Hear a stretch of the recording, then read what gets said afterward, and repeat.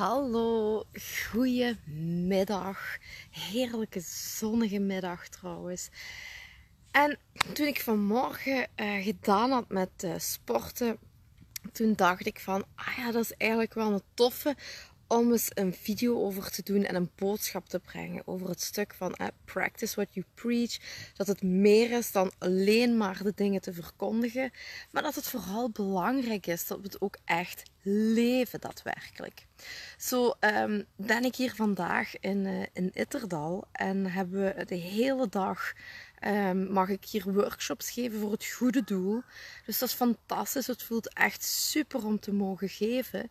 Maar omdat het toch wel een zeer pittige en intense dag was, bedacht ik mij van wat ga ik doen? Ga ik een uur langer in bed blijven liggen?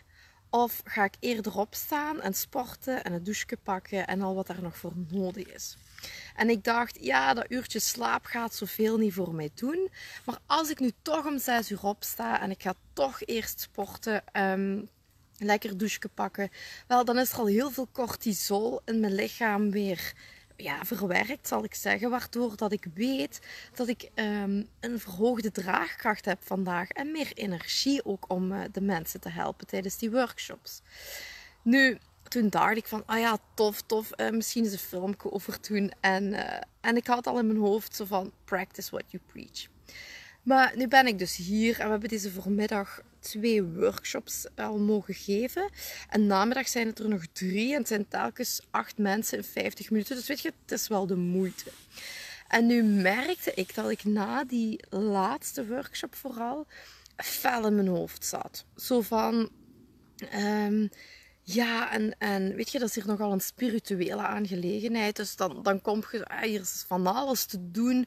Uh, kaart leggen, handlezen, massages, reiki. Ik bedoel, fantastisch mooi. En, en mijn mama organiseert dat samen met de lieve Kelly Christus. Dus ah ja, een schitterende dag. Ik heb dat ook jaren zelf meegevolgd altijd even leuk. Maar nu zat ik voor de eerste keer hier in deze setting aan de andere kant. En ik merkte gewoon na die laatste workshop deze voormiddag van dat ik heel fel in mijn hoofd zat. Zo van, ehm, ja, zeg maar, hebben de mensen hier wel iets aan? Of uh, vinden ze dat wel leuk? En hier is mijn tekstje trouwens. Workshop moment van geluk. En um, nu was dat echt aan het spelen. Van, hebben die mensen hier iets aan? En ja, past dat hier wel? En doe ik dat wel goed genoeg? Ben ik die mensen hier genoeg van waarde? En ik zat zo in mijn hoofd daarover.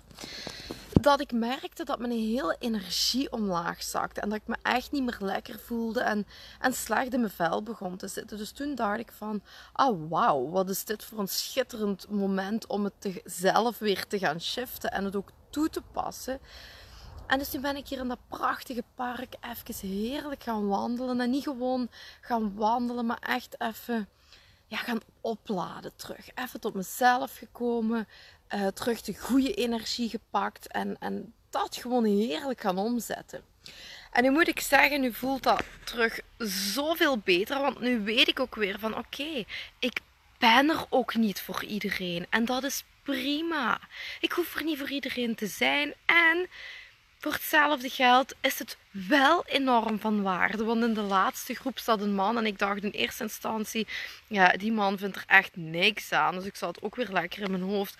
En na de groep vraagde hij mij, oh ja, en doet jij ook meer met ademhalingsoefeningen? En had hij zijn mailadres achtergelaten om op de hoogte gehouden te worden. En dan denk ik van, oh, dus heeft er blijkbaar toch echt wel iets uit kunnen halen. Hoe leuk is dat dan? Dus het is gewoon zo belangrijk dat wij niet zitten in te vullen voor de anderen wat zij denken. Want dat bepaalt op een gegeven moment onze hele leefwereld, onze hele beleving. In de zin van, ik voelde me echt letterlijk slecht. Van, ik ben niet goed genoeg, ik zit hier niet op mijn plaats. En zo, dat heel oude patroon kwam even bovendrijven. En dat is oké. Dat is prima. Als ik er maar niet in blijf hangen. Dus dan is zo'n oplaadmomentje van even mezelf af te zonderen, vind ik eigenlijk maar een heel raar woord. Maar even tot mezelf te komen. Hier heerlijk te gaan wandelen, de natuur in mij op te nemen, de zon tot mij te laten komen, mijn troetelbeertje straal te doen, En mij helemaal op te vullen terug met die, met die zalige energie. En nu voel ik ook echt terug van, ja, ik mag er gewoon zijn. Helemaal, zoals ik ben. En ik denk dat wel veel mensen daar tegenaan lopen vaak. Uh, dat ze daar weerstand bij hebben. Dus ga eens kijken, hoe kan ik me opladen? Wat kan ik doen om even tot mezelf te komen? Kan ik even de buiten in, even rust vinden, even ontprikkelen? Even uh, mij opvullen met dat licht van de zon, even stralen. Even, even die straal terugpakken. En claimen terug van ja, ik mag er helemaal zijn.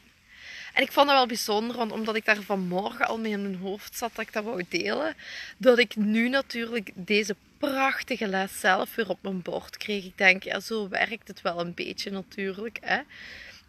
Um, dat wat je aandacht geeft groeit en dat waar je mee bezig bent, trekt je ook meer aan.